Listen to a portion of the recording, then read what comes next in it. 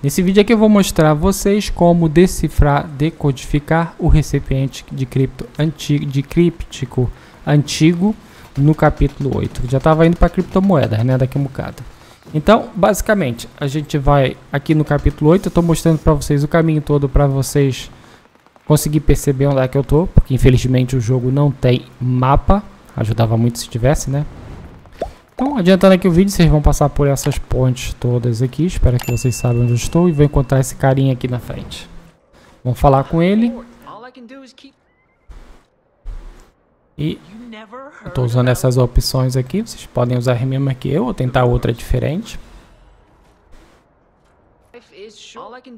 Depois vocês falarem, ganhar aquela carta, vocês vão falar com ele. Isso é tudo dos colecionáveis. Essas cartas são colecionáveis do capítulo 8. Eu já fiz os vídeos com todos os colecionáveis. Caso vocês queiram, peçam que eu coloque o link aí na descrição para vocês.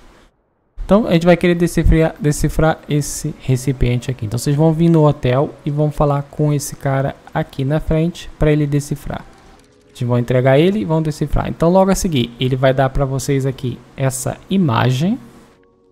E com essa imagem, vocês vão fazer viagem rápida para esse local que tem essa cabana. Vamos vir aqui, a gente faz viagem rápida. Tá aqui essa cabana. Agora é só fazer viagem, vai chegar aqui. E agora vocês vão entrar aqui na frente. Vamos descer no elevador. Tranquilo por enquanto.